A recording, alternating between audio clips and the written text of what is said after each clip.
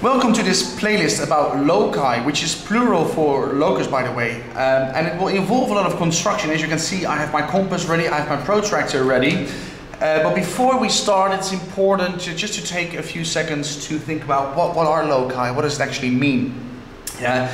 Now the loci are, are points fitting a particular description.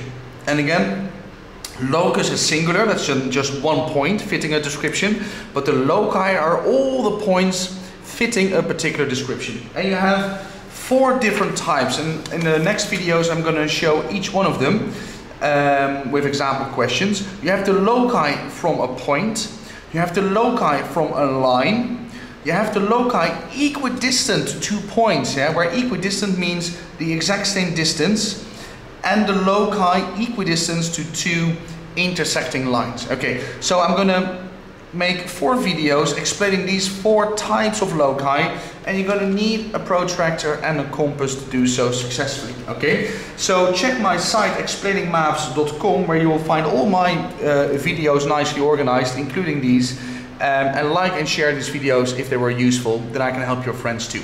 So go to the next video please, where we're going to construct the loci of a point. I'll see you there.